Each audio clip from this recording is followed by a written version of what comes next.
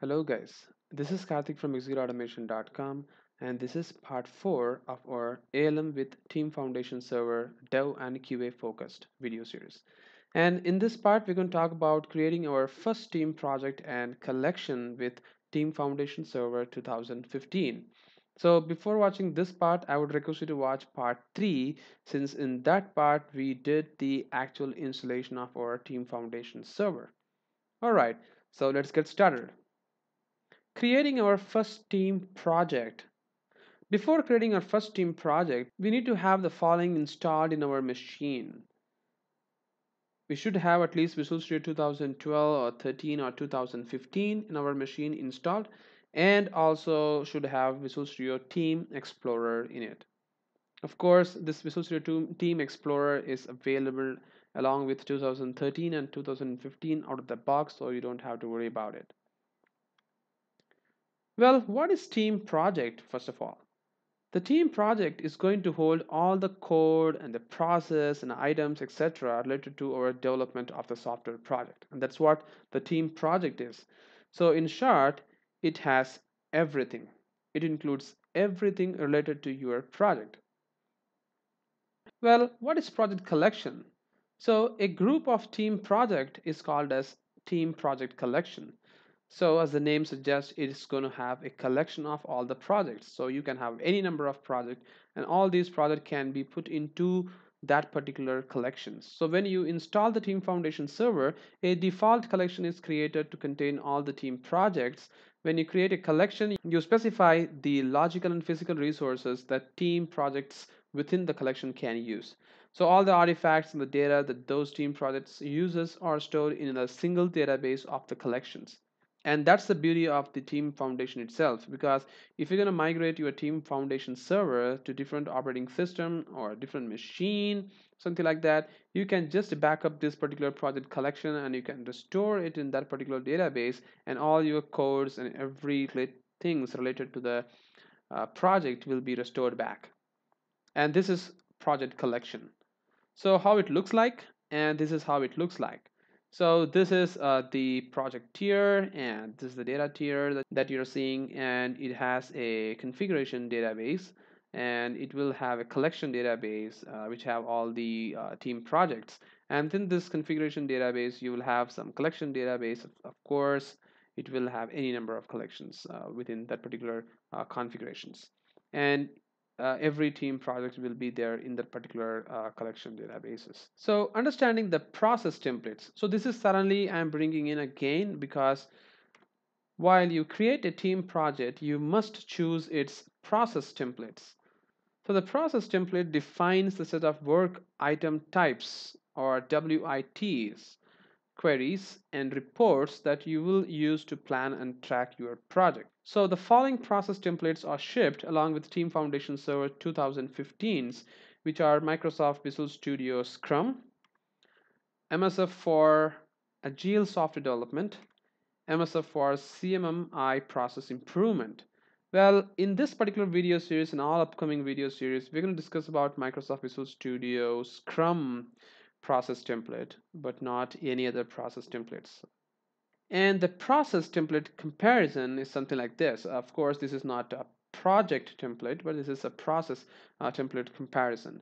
So you can see that uh, the process area is something like uh, the workflow status uh, states. And for the Visual Studio Scrum, the, the states are like new, approved, committed, done, and removed whereas for the agile it will be like new active resolved closed and removed. And for the cmmi is going to be proposed active resolved and closed. And uh, similarly for the project planning it will be like bug and product backlog item whereas in the agile it is called as user stories and cmmi it is called as requirement. So similarly for each and every process templates uh, the uh, terminology which is being used uh, changes slightly uh, but not much so this is something which I took from the Microsoft website and this is the uh, link as you can see here. Well, let's create our first team project in default collection then. So for that, I'm going to first flip to Visual Studio 2015. So for that, I'm going to search for Visual Studio 2015 and I'm going to open that. Alright, so the Visual Studio 2015 has just opened and then we need to connect to our Team Foundation server which we just installed. So if you have already watched our previous video of this video series, our Team Foundation server's address is http colon double slash server colon 8080 slash tfs and that's the address of our Team Foundation server. So we need to connect to that particular Team Foundation server in this particular Visual Studio 2015 for creating our first team project. All right, so for that, we need to first go to the team as you can see here and there's an option called manage connections. So if you click this particular option, you can see that there will be a team explorer automatically opens. I have already created some of the project into this particular team foundation server but for now we'll try to create a new team project so first of all we need to connect to the team foundation server just assume that I have not connected automatically and I'm going to do it first time. So you need to first click this particular icon and this box will open the team explorer. And you can go to this manage connections and you can connect to the team project. You can of course connect with the github but we will discuss about connecting with github in later video of this video series.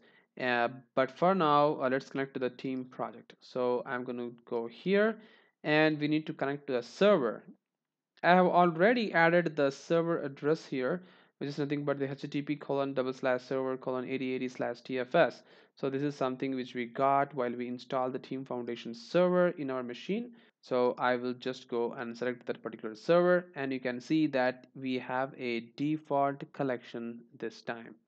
And if I do a connect here this will connect to my particular project and you can see all the new stuffs are coming into my project. But this is not we're going to discuss uh, today but we're going to create a new team project itself. So for that what I'm going to do is I'm going to click here to the connect. And if you go to this projects and my team you can see that there is something called new team project option.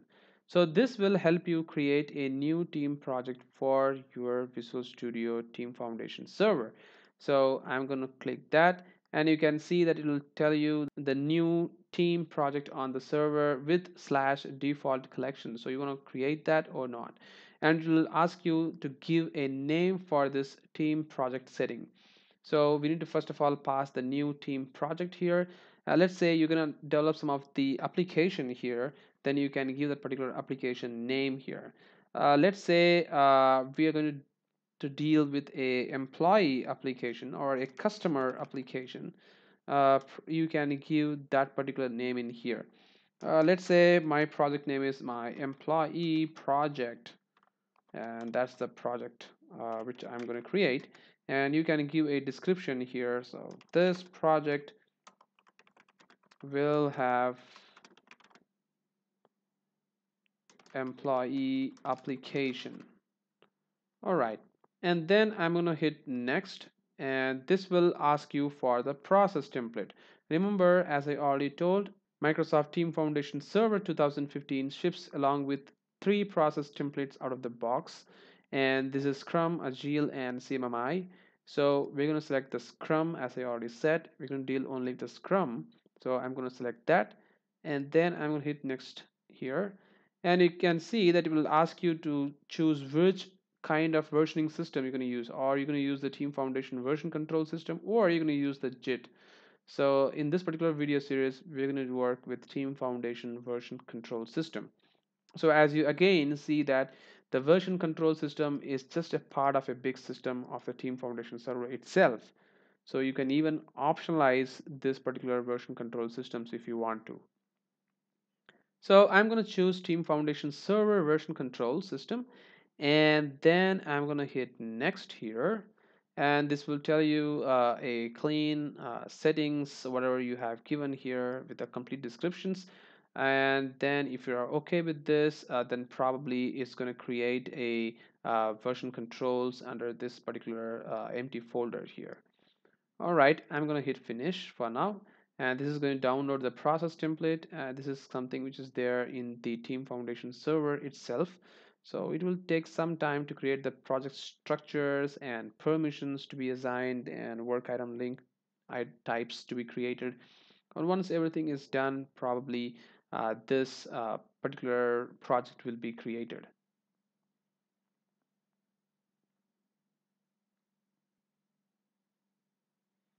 all right so the team project is created successfully. You can see the log if you want to. I don't want to of course. And then i'm going to hit close. And you can see that our new project like employee project is right now available under the default collection. So server slash default collection. So that is the collection name. And within this particular default collection i have two projects here. So just recollect your default collections or the team project collections can have any number of project into it but not the team project itself can have multiple projects. Of course it is not possible. So your default collection has right now got two team projects here and this is the project which we just created. And if you double click this you can see that it has uh, different kind of stuffs here like my work pending source control explorer uh, work items builds and settings something like that but of course we'll deal about all those things in upcoming videos of this video series but for now just keep in mind that this is how you can create a team project in your Team Foundation Server 2015. So that's it guys. Thank you very much for watching this video and have a great day.